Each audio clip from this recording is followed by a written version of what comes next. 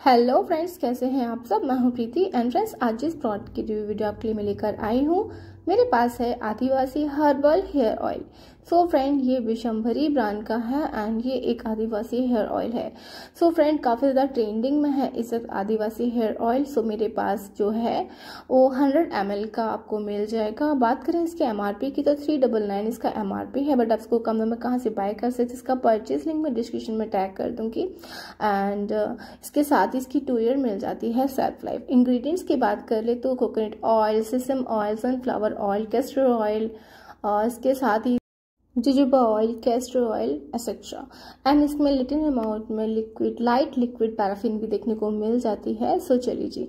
अब अप्लाई करने का तरीका देखने से पहले पहले हम देख लेते हैं इसका टेक्सचर सो बिल्कुल हल्का सा पिंकिश है, या आप इसको, मैं इसको एक बार ओपन करके आपको दिखा देती हूँ। तो आप कंसिस्टेंसी देख लीजिए, बिल्कुल लिक्विड फॉर्म में हमें ये देखने को मिल जाता है। जस्ट लाइट है। सो आपको अपने बालों में मसाज करनी होती है। जब भी आप शैम्पू करेंगे शैम्पू से एक घंटे पहले, दो घंटे पहले आप अपने बालों में अच्छे से मसाज कर लीजिए।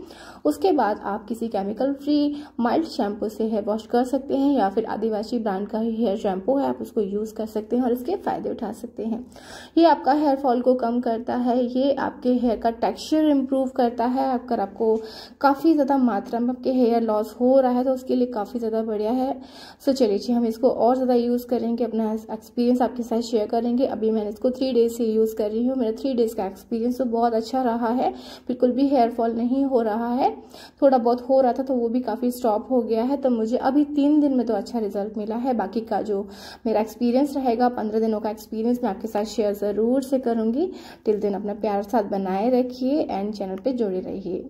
टिल दिन बाय टेक केयर